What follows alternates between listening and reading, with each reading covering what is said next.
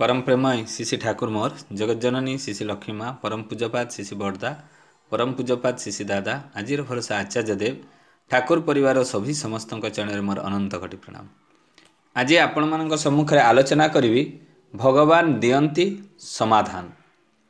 ଶ୍ରୀ ଶ୍ରୀ ଦାଦାଙ୍କର ଶୁଭ ନବେତମ ଜନ୍ମଦିବସ ଉପଲକ୍ଷେ ତାଙ୍କର କିଛି ଜୀବନର ଘଟଣା ମନ ମଧ୍ୟରେ ଭାସି ଉଠେ। ସେଥିମଧ୍ୟରୁ ଗୋଟିଏ ଘଟଣା ଅବତାରଣା କରୁଛି। ଦିନକର ଘଟଣା ଶ୍ରୀ ଶ୍ରୀ ଦାଦା ନାଟ ମଣ୍ଡପରେ ବସିଥାନ୍ତି। ନିକଟରେ ମଧ୍ୟ ଅନେକ ଭକ୍ତମଣ୍ଡଳୀ ବସିଥାନ୍ତି। ଅନେକ ଆଳାପ ଆଲୋଚନା ଚାଲିଥାଏ। ସ୍ୱାମୀ ସ୍ତ୍ରୀ ଦୁଇ ଜଣଙ୍କ ସେଇ ନାଟ ମଣ୍ଡପକୁ ଆସିଲେ। ଆସିକିନା ଦୁଇ ଜଣ ଯାକ ଉଚ୍ଚ ପଦସ୍ଥ ସେମାନେ କର୍ମଚାରୀ ମଧ୍ୟ। ସ୍ୱାମୀ ଗୋଟିଏ ୟୁନିଭର୍ସିଟିର ଭାଇସ୍ ଚାନ୍ସେଲର ୟୁନିଭର୍ସିଟିର ଭାଇସ୍ ଚାନ୍ସେଲର ସିଏ। ଆଉ ସ୍ତ୍ରୀ ମଧ୍ୟ ଜଣେ ଉଚ୍ଚ ପଦସ୍ଥ କର୍ମଚାରୀ। ସେମାନେ ଶିଶି ଦାଦାଙ୍କ ପାଇଁ ଗୋଟିଏ ବହି ଆଣିଥିଲେ। ସ୍ତ୍ରୀ ଶିଶି ଦାଦାଙ୍କୁ ବହିଟି ଦେଇ ପ୍ରଣାମ କରି ଚାଲିଗଲା। ତା ପରଦିନ ସକାଳୁ ଆସି ଉଭୟ ଶିଶି ଦାଦାଙ୍କୁ ପ୍ରଣାମ ନିବେଦନ କରିଥିଲେ। ଶିଶି ଦାଦା ମହା ଆନନ୍ଦରେ ତାଙ୍କୁ କହିଲେ ବହିଟି ପଢ଼ିଲି ବହୁତ ସୁନ୍ଦର ଲାଗିଲା। ସେମାନେ ମଧ୍ୟ ଖୁସି ଆଉ ପ୍ରୀତ ହେଲେ ତାପରେ ମା ଜଣକ କହିଲେ ଆମର ଗୋଟିଏ ବହୁତ ବଡ଼ ସମସ୍ୟା ହୋଇଛି। ସେଇ ସମସ୍ୟାର ସମାଧାନ ପାଇଁ ଆମେ ଆସିଛୁ। ତାପରେ ମା ଜଣକ କହିଲେ ଆମର ଗୋଟିଏ ବୋଲି ପୁଅ। ଯେହେତୁ ଆମେ ଦୁଇ ଜଣ ଚାକିରି କରୁଛୁ ଆମ ଘରେ ପୁଅର ଦାୟିତ୍ୱ ନେବା ପାଇଁ ଜଣେ ଆୟା ରଖିଥିଲୁ। କ୍ରମେ ଆମ ପୁଅଟି ପାଠ ପଢ଼ି ଚାକିରିଟିଏ ପାଇଲା। ଆମ ପାଖରୁ ଦୂରେଇ ଯାଇ ସେ ଚାକିରି କରି ରହିଲା। ମଝିରେ ମଝିରେ ଘରକୁ ଫୋନ୍ କରେ। ଆୟା ସହିତ ମଧ୍ୟ ଫୋନ୍ରେ କଥା ହୁଏ। ମଝିରେ ମଝିରେ ମଧ୍ୟ ଘରକୁ ଆସେ। କିଛି ଦିନ ପରେ ଆୟା ଜଣଙ୍କର ମୃତ୍ୟୁବରଣ କରିଥିଲା ବା କରିଗଲେ। ସେ ମୃତ୍ୟୁ ହୋଇଗଲେ। ତାପରଠାରୁ ପୁଅର ଘରକୁ ଆସିବାରେ ଆସ୍ତେ ଆସ୍ତେ କମିଗଲା। ଫୋନ୍ କରିବା ମଧ୍ୟ କମିଗଲା। କିନ୍ତୁ ଏବେ ଆଉ ସେ ଘରକୁ ଆଦ ଆସୁନାହିଁ। କହିଲେ କହୁଛି କ'ଣ ପାଇଁ ଘରକୁ ଯିବି? ଯାହା ପାଇଁ ଯାଇଥିଲି ସେ ତ ଆଉ ନାହିଁ।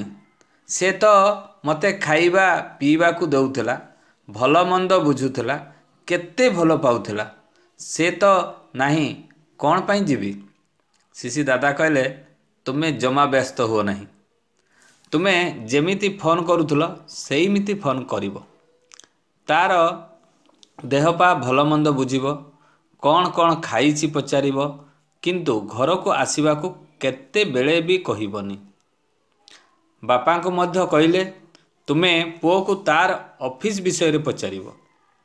କେତେବେଳେ ଅଫିସ୍ ଯାଉଛି କେତେବେଳେ ଫେରୁଛି କେମିତି ମାନେ ଏମିତି ପଚାରିବେ କିନ୍ତୁ ତାକୁ ଘରକୁ ଆସିବାକୁ କେବେ କହିବେ ନାହିଁ। ଆପଣମାନେ କିନ୍ତୁ ଫୋନ୍ କରିବା ଜାରି ରଖିଥିବେ। ଏମିତି କିଛି ଦିନ ଗଲା ପରେ ପୁଅଟି ତା ଆଡ଼ୁ ଫୋନ୍ କରି କହିଲା ବାପା ବାପା ଦେହ କିପରି ଅଛି? ବହୁତ ଦିନ ପରେ। ମାଆକୁ କହିଲା ବାପାଙ୍କର ଦେହର ଯତ୍ନ ନେଉଥିବ। ଠିକ୍ ସମୟରେ ବାପାଙ୍କୁ ମେଡ଼ିସିନ ଦେଉଥିବ। ବାପା ଆପଣଙ୍କ ପାଇଁ କରୁଛନ୍ତି। ବାପା କହିଲେ ଏଇ ପାଖରେ ଥିବା ଗୋଟିଏ କେନ୍ଦ୍ରକୁ ଆଶ୍ରମକୁରୁ ଶିଶି ଆଚାର୍ଯ୍ୟ ଦେବ ଆସିଛନ୍ତି। ତାଙ୍କୁ ଦର୍ଶନ କରିବାକୁ ଯାଉଛୁ। ପୁଅ ଶୁଣି ଖୁସି ହେଲା। ତାପରେ ବାପାଙ୍କୁ କହିଲା ବାପା ମୁଁ କ'ଣ କହୁଥିଲି କି ମୋର ଦଶ ପନ୍ଦର ଦିନ ଛୁଟି ଅଛି। ମୁଁ ଘରକୁ ଯାଇ ଟିକେ ବୁଲି ଆସିବି। ଆଉ ଆମେ ସାଙ୍ଗ ହୋଇ ଆଶ୍ରମ ମଧ୍ୟ ଯାଇ ବୁଲି ଆସିବା ବାପା ଶୁଣି ଅତ୍ୟନ୍ତ ଖୁସି ହେଇଗଲେ। ଏଇ ତ ଖୁସିର କଥା। ମା ପାଖରେ ଥାଇ ଶୁଣୁଛନ୍ତି ଆଖିରୁ ତାଙ୍କର ଆନନ୍ଦର ଅଶ୍ରୁ ବହିଗଲା। ଏ କ'ଣ ସେ ଆଜି ପୁଅ ମୁହଁରୁ ଶୁଣୁଛନ୍ତି? ଯେ ଏଇ ଜିନିଷଟା ମୁଁ ଜୀବନ ସାରା କେବେ ଭାବିନଥିଲି ଯେ ପୁଅ ମୁହଁରୁ ଶୁଣିବି। ଏସବୁ କିପରି ହେଲା? ସେ ଦିନର ସେହି ଶିଶି ଦାଦାଙ୍କ କଥା ବା ତାଙ୍କ ତାତ୍ପର୍ଯ୍ୟ ବୁଝିପାରିଥିଲେ। ତାଙ୍କ କଥାକୁ ଆଜି ବିନା ଆପତ୍ତିରେ ବିନା ଅଜରରେ ଓ ପରମ ଆନନ୍ଦରେ ମାନି ନେଇଥିଲେ ବୋଲି ଆଜି ସମ୍ଭବ ହେଇପାରିଲା। ଏଇ ଅସମ୍ଭବ ଜିନିଷଟା ସମ୍ଭବ ହେଇପାରିଲା। କେବଳ ସ୍ୱୟଂ ଭଗବାନ ହିଁ ସବୁ ସମସ୍ୟାର ସମାଧାନ କରିପାରନ୍ତି। ଯଦି ଆମେ ତାଙ୍କୁ ସମ୍ପୂର୍ଣ୍ଣ ଭାବରେ ବିଶ୍ୱାସ କରୁ ଓ ନିର୍ଭର କରୁ ତାହେଲେ ସବୁ ସମସ୍ୟାର ସମାଧାନ ହେବ। ଜାଣିଥା ଇଷ୍ଟ ପ୍ରତିଷ୍ଠାନ। ଏଇଟାକୁ ସୁନ୍ଦର ଭାବରେ ଦାଦାଙ୍କ କଥାଟି ମୁଁ ଆପଣମାନଙ୍କ ପାଖରେ ତଳି ଧରିଲି।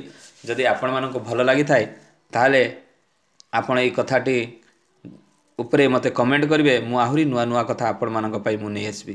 ବନ୍ଦେ ପୁରୁଷୋତ୍ତମ ଜୟ ଗୁରୁ।